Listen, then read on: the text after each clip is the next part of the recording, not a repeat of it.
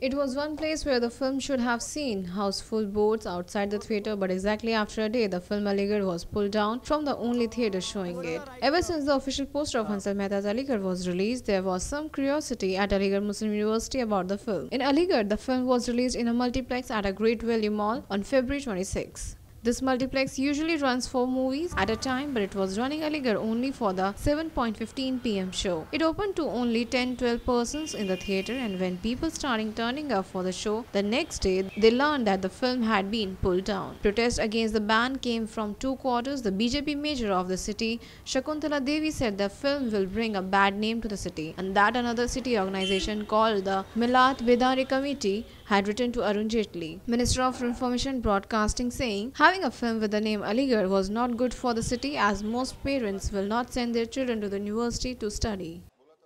Powered by NNIS.